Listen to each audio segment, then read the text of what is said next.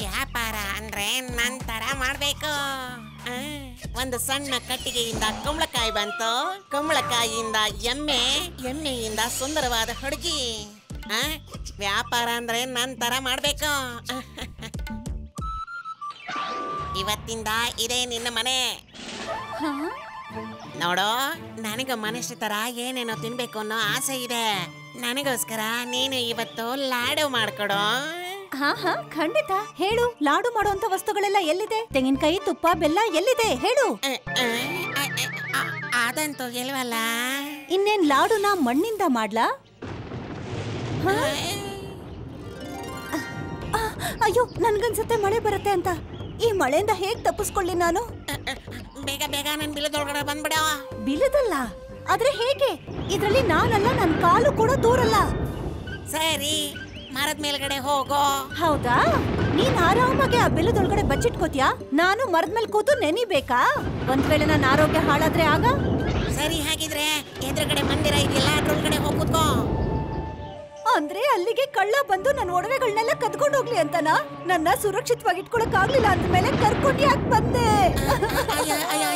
ಅಯ್ಯೋ ಅದನ್ನಾದ್ರೂ ನಾನು ತಗೊಂಡ್ ಬರ್ಬೇಕಿತ್ತಲ್ಲಪ್ಪ. ಹೊಟ್ಟೆ ತುಂಬಾನಾದ್ರೂ ತಿನ್ಬೋದಿತ್ತು? ಸರಿ ಈಗ ನೀವು ಕೋಪ ಮಾಡ್ಕೋಬೇಡಿ. ನೀವೇನು ಬೇಜಾರು ಮಾಡ್ಕೊಳ್ಳಿಲ್ಲ ಅಂದ್ರೆ ನಾನು ನನ್ನ ಸ್ನೇಹಿತರನ್ನ ಕರೀಲ? ಅವ್ರು ನನ್ನ ಸುರಕ್ಷತೆ ಮಾಡ್ತಾರೆ. ಗ್ಯಾರಂಟಿ ಅಲ್ವಾ? ಕೋಪ ಮಾಡ್ಕೊಳಲ್ಲ ತಾನೇ?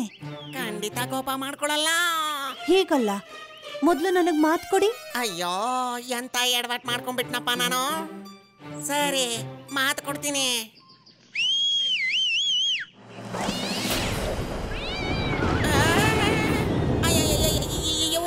ಎಲ್ಲಿಂದ ಬಂದ್ರಪ್ಪ ಇವರೇ ನನ್ನ ಸ್ನೇಹಿತರು ರಾಮ ಮತ್ತೆ ಶ್ಯಾಮ ಸ್ನೇಹಿತರೆ ನನ್ನ ರಕ್ಷಣೆಯನ್ನ ಮಾಡಿ ಅಯ್ಯಯ್ಯೋ ಕಾಪಾಡಿ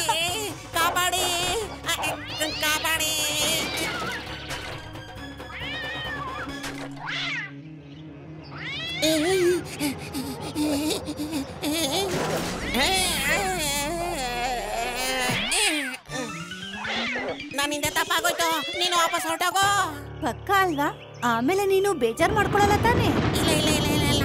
ನಾನ್ ನಿನಗ್ ಮಾತು ಕೊಡ್ತಿದ್ದೀನಿ ನೀನು ವಾಪಸ್ ಹೊರಟೋಗೋ. ನಿನ್ ಗೆಳೆಯರ್ನ ಕರ್ಕೊಂಡು ಹೋಗೋ. ಮೂಷಿಕನ ಅಲ್ಲೇ ಬಿಟ್ಟು ಆ ಮದ್ವೆ ಹೆಣ್ಣು ತನ್ ಮನೆಗ್ ಹೊರಟೋದ್ಲು. ಪಾಪ ಮೂಷಿಕ ಇಷ್ಟೆಲ್ಲ ಕಷ್ಟಪಟ್ಟು ವ್ಯಾಪಾರ ಮಾಡಿದ್ಮೇಲೂ ಕೂಡ ಖಾಲಿ ಹೊಟ್ಟೆಲೇ ಇದ್ದ.